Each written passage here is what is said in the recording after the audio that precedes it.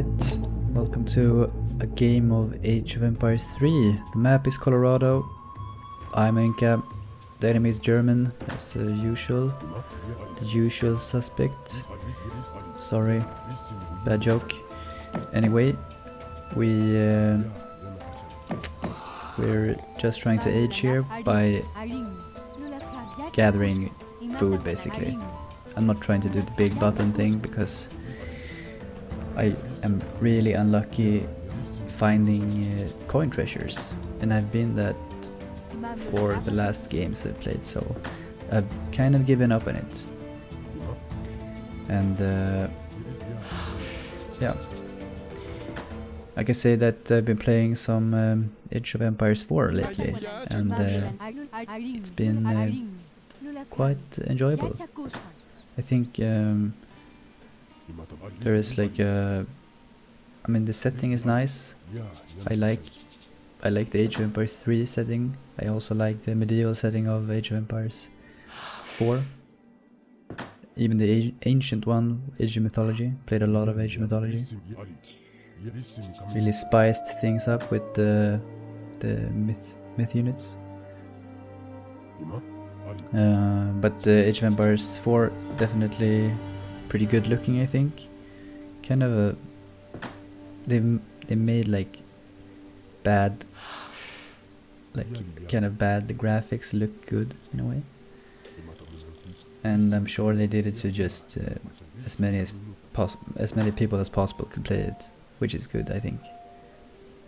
In the end I mean if there's a lot of people playing it I think it would be a more enjoyable game uh, or at least for the online community and uh, mostly played the the Holy Roman Empire, which was uh, pretty strong, I think, with their uh, was it Castle Age? Well, the Third Age, um, the Third Age landmark, which um, it made you so that you could build five military units, or yeah, five military units uh, in the time for you to build like one. I think it was only infantry.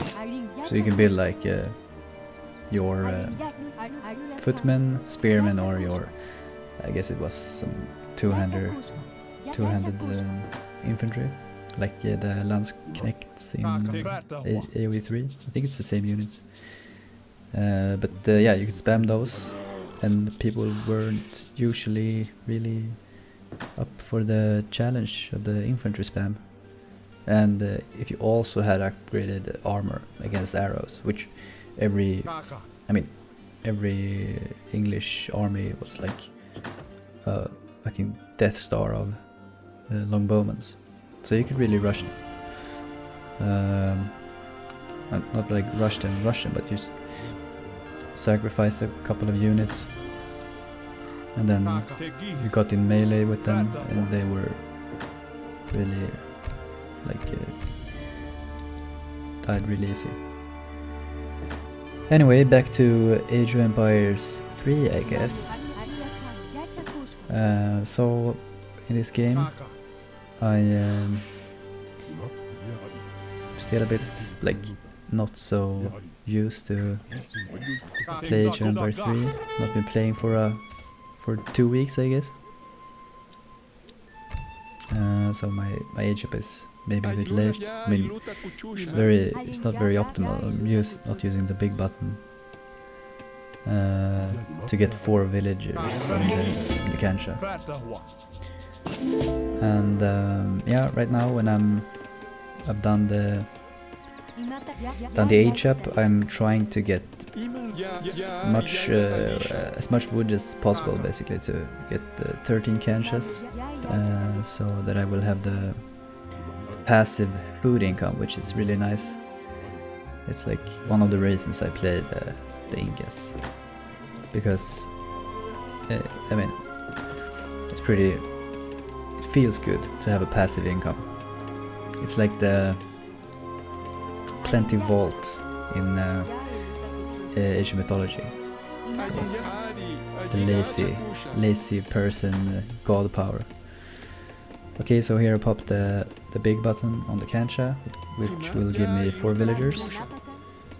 and um, yeah, and it really lets you. It's really fast actually. So now I have like 11 people on wood. At this time, maybe I should have a market for some wood chopping, but yeah, I didn't think of that. And my explorer is just trying to gather some coin treasures or wood treasures. Yeah, wood treasures is probably what I'm looking for. And also this uh, this deck, I, uh, which is a bit, it's a greedy one. I'm trying to um, use a priestess together with uh, like the, da the dancing, the community plaza.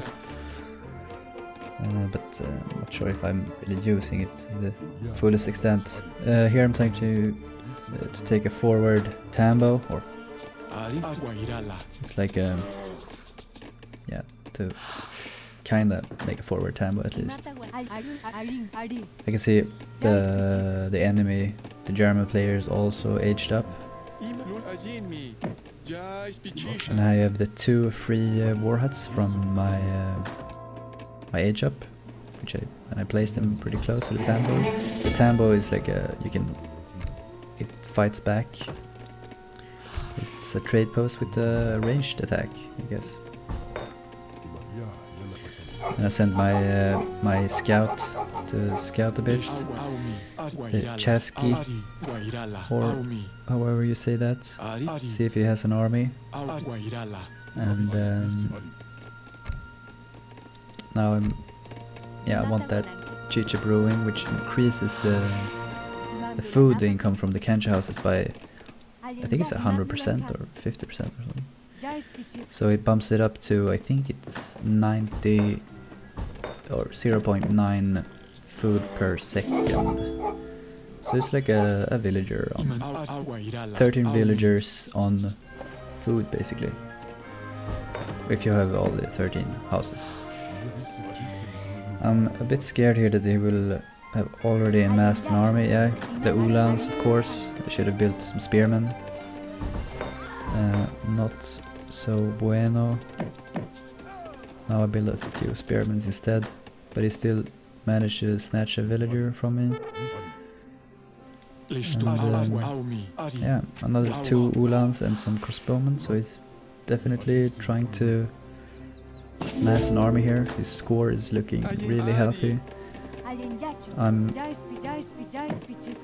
just now starting to get the, the wood on the, the wood shipment.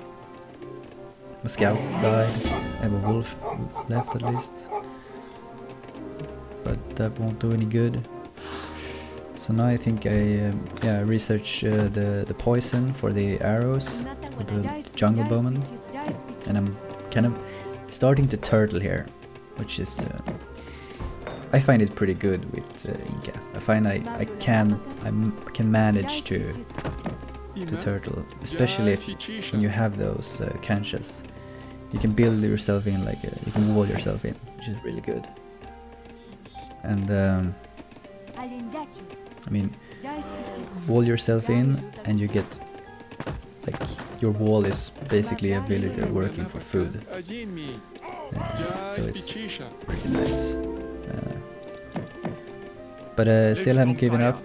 Um, given up uh, hope to have a forward base. Um, so I'm um, I'm trying my best to amass an army of my own. My, uh, I still have a lot of treasures to collect. I don't know what my, my explorer just hanging about. Some idle bills too. Now I'm, I think I, I don't know if I build a market or a, uh, no, I probably built the community plaza there. Uh, no, maybe it was the market actually. So I don't have any visual in his army, which is pretty scary now. He killed my scout, but I didn't really pay attention. Uh, I should have, because now I'm blind. I, have no idea what his army is composed of. Uh, and I'm going right now with Jungle Bowman and uh, the spearmen to counter his kind of crossbowman and uh, Ulan. So we shall see what happens. I, I see that my the hunts are pretty badly located for me, so I kind of moves I move forward with some villagers. Try to risk it. Here he comes. So he has a lot of crossbowmen and ulans, which I mean, can I of counter that, but he has a bigger army. His ulans trying to kill my villagers. I just in time managed to bring them in. Those two. So this is the when I can have like some food production still going without actually yeah. I can be idle for a bit. It's forgiving. So I'm trying to micro him, but then I realized I've had some villagers over there, which is not good. But I, I attack his Ulans with my spearmen, which is a good trade for me. And my archers is actually destroying his uh, crossbowmen. So my villagers actually survive, so some of them at least. So uh, now I'm a bit uh, like, oh shit, should I push on? And I decide to, uh, to push because I got a batch of uh, spearmen. And I still have a lot of vills on in the town center, which I don't realize, which is really bad. Uh, I might realize it soon. But I, I'm, um, yeah, okay, I realize it. Uh, but I'm quite uh, like comf comfortable to attack him now. I think he I beat the bulk of his army. And here, this is a pretty good engagement for me too. But uh, what I didn't really notice is that he actually aged up to age 3. Uh, but uh, I'm happily trying to destroy his trade post, maybe pick up some villagers, scout his base a bit. So, okay, so his explorers there, I'm like, okay, whatever, I can get some, get some experience. Kill him. I finally decides to do something useful with my, oh, yeah, that I got caught out, and I'm I can see that he has skirmishers, so I'm kind of scared about that. And he has a lot of skirmishers, so I'm backing off. Um, kind of panic now, because I realized, yeah, he's age 3. And uh, what do I do? Do I age up? I don't have the gold. And I want to have an army to actually counter him if he has cannons. So I built 10 Chimu runners. And um, I mean, so the plan is to like, if he yeah, comes with a cannon, then I could sneak up behind with some Chimus and uh, yeah, kill the cannon, which would be a good trade. Uh, and now I'm trying to mass jungle bowmen because they're pretty strong against. Uh, I mean, I, the like the skirmishers still. I don't actually know what to do with between a jungle bowman and a skirmisher. Probably they both kill each other. Here find two villagers. Oh, and even more stuff got out. So this is really good for me. He actually did. He doesn't doesn't notice this at all. And there's two settler wagons as well and uh, I have a town center and uh, and another uh, war hut, uh, but he's coming with uh, he's coming with his army here, and I decided to build my town center pretty defensively. Uh, and his army looks pretty small, but then more of his units getting line of sight, so I'm kinda scared here. But I think I can, maybe I can juke, you know, out, because my war hut still fire on me.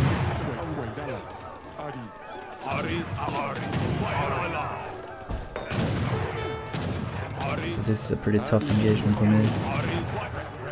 My, my jungle bowmen really drops like flies here, but I got a, some uh, spearmans, spearmen, uh, built some spearmen from the huts. But yeah, my army is totally gone now. This is this is really bad. Um, so now I start to worry. Is this it? I think I built a war hut uh, further back, and now I'm sending my Chimus to to raid him because uh, I think uh, maybe that will annoy him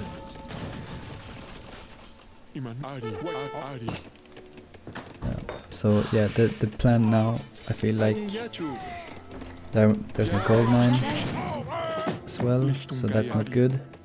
Still, I have kind of um, bunkered up a few gold. These Mashimus, I don't really get any value out of that raid.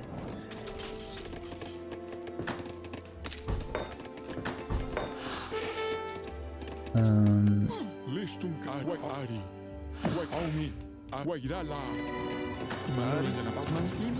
yeah, so uh, in this uh, moment of time, I think to myself, what to do? Should I... His army is big, and now he has a cannon, so I have to really, really take care here. Uh, I have my Chimus, so I really see the threat of the cannon, and I'm like, okay, let's uh, let's do something sneaky here. Uh,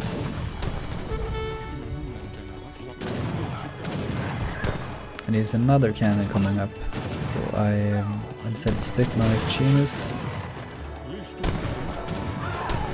And uh, I'm gonna really run it. Yep, managed to kill one, and then another cannon looks like. So totally worth it. But he still has a pretty big army, but he like the stopping power of his like he cannot really kill any buildings with his army. And my I have war huts and I have tambos and I have a uh, town center shooting at them, so they had to retreat. And now I'm like, okay, turtle up. Turtle the hell up. Uh, I really need to...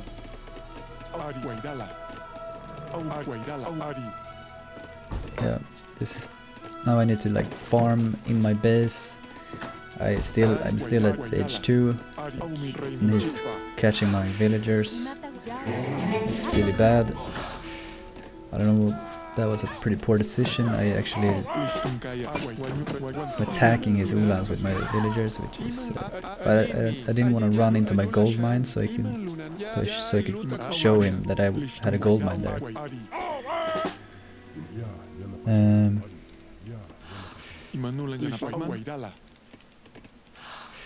but yeah, the the plan is really to really turtle here.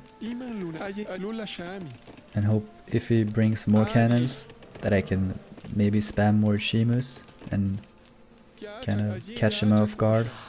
Because he didn't really tend to his um, cannons last time and I see here my priest has been like doing nothing for the whole game which is unfortunate. That would have speed up my production a lot. This is a bit busted up.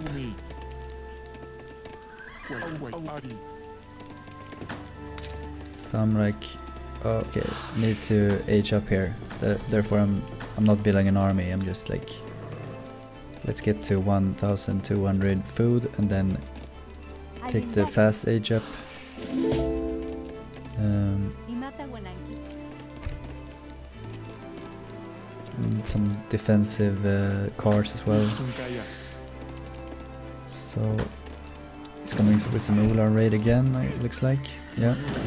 But he just looks like he just sent it, uh, sent it uh, into my my base. Really, doesn't really Yeah, okay, so he went from a full uh, wood villagers. But he's running away. Didn't really care about my like 20 villagers standing there. And they see I have a gap in my defenses, which I promptly fix. And now I need to build an army. I, need to amass a defensive army here. I think I still have two priestesses on uh, that's working on the community plaza, so trying to spam out some. Yeah, so he's uh, coming here with two cannons, and I only have two uh, two barracks here or two war huts, so I decide to build another. And uh, this is look this looks pretty dire here. Um, still have uh, some spare jungle bowmen hiding in the base.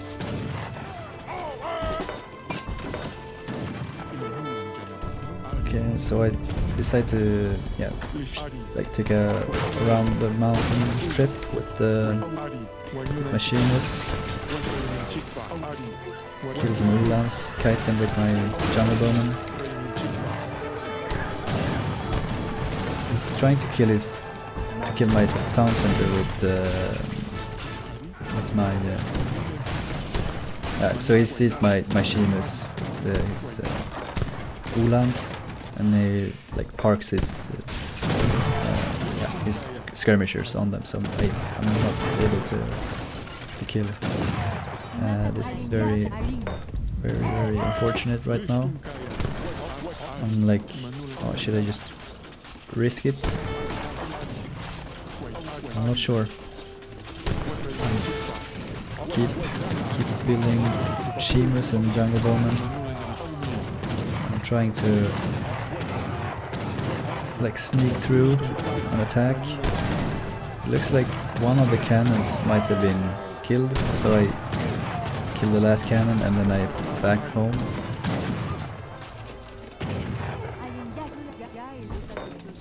So still, now I mean, he still has no siege power left really. So it's just a mistake from him to well, kind of free roams through my base, but he can't really kill my base here. Uh, so he backs off. It looks like. Really bought me some time.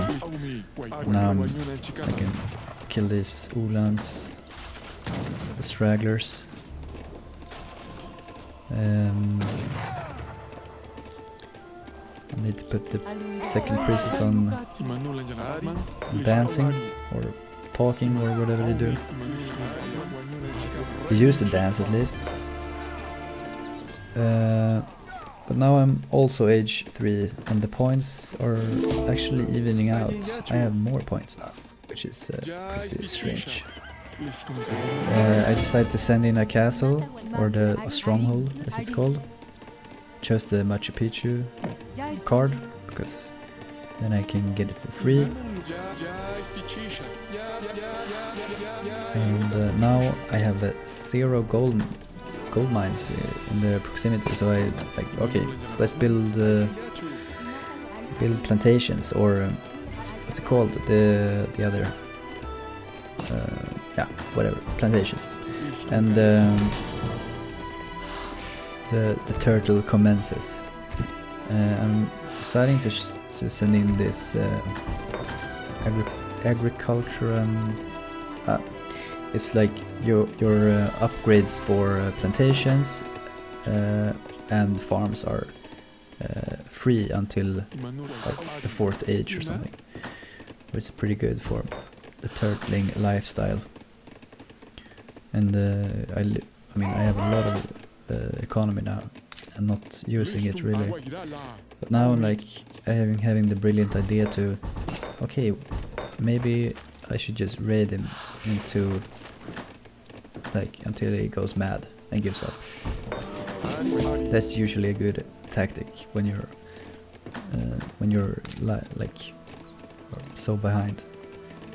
But I'm not really that behind score-wise actually. But and he edges up to uh, age 4 it looks like. I'm sending more Chimus uh, to raid. Uh, see if I can pick something off. He has been pretty quick to respond to my to my uh, raids earlier, but uh, let's see about how this goes.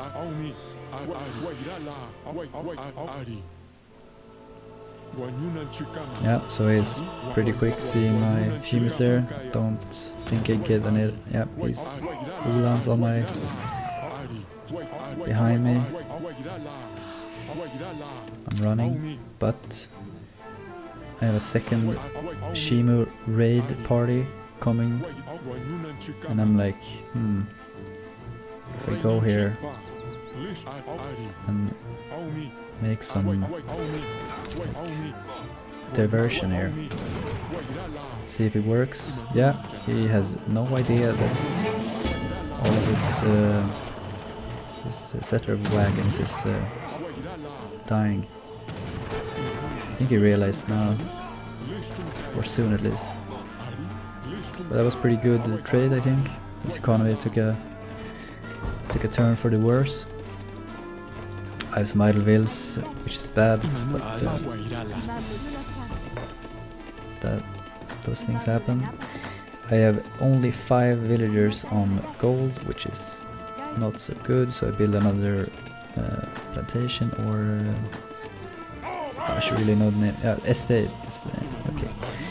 I build uh, more chimus because if he has cannons, I want to be prepared, and I want to raid even more. So I'm kind of getting pretty confident now. Uh, mm, yeah, it's time to time to uh, like uh, annoy him even more and build up an army, more defenses. You can see the, the score has changed a bit now, so that gives me the, the go go sign for like okay, keep keep on like annoying him. But I don't want to like go out with my, with my army uh, anywhere because I know he has Ulans and I have no spearmen really. I decided to make a third uh, third estate because the gold income is not it's not that good. I saw he had a couple of doppelsoldners, so maybe he tries to counter them. My my Chimus but I doubt uh, they will stop and say hello.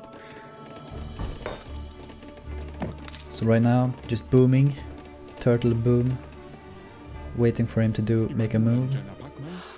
I'm still one age behind him, so like maybe maybe I can destroy his factory, maybe I can sneak in, kill some more villagers. And uh, yeah, at least a few more villagers get caught out. He reacts a bit too slow.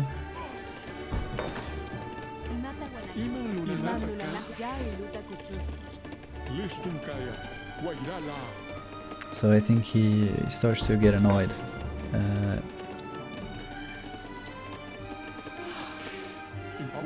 and I find the jackpot here. So he had a few villagers on gold out, which were caught out with my Chimus. Could probably kill, could have killed more, but um, that that would still make him kinda even more annoyed than he, what he already is, most likely. So my gold uh, income is starting to increase. It's not good at all by any means, but now I see his army. Looks kind of small, few ulans, but here comes the skirmishers. They have a couple of wood villagers, in a bad position, so I run them away. Here he is. Uh, I'm trying to get ready with my Chimus. Here I don't really get a hold of my, uh, my jungle bowman. I don't know what I'm doing here. Panic totally. Uh, but uh, I have a big army now. I build the army really fast with the with the priestesses dancing and uh, some cards. So I decide to okay, maybe I should just uh, attack him a bit because I know he has cannons. I know he has something. And yep, there he is. So I run back. And uh, some way he kind of knew I kind of Chimus there, but I managed to sneak through and uh, kill his uh, both of his mortars and uh, his cannons. And my Chimus, yeah, they really just.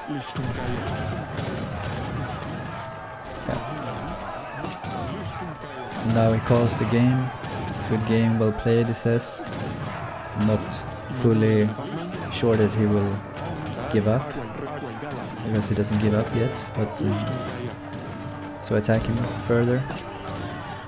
Yeah, and then he kinda says the the ongoing theme of the later game. Alright, so um, that was um, a good turnaround I think. So let's look at the post game a bit and then I can see that uh, my resources are that my resources gathered are a lot better. Apparently I had double the income of, of stuff. Um, yeah, so his um, that was probably why he lost and in the end he shouldn't when he had the upper hand he should have just pushed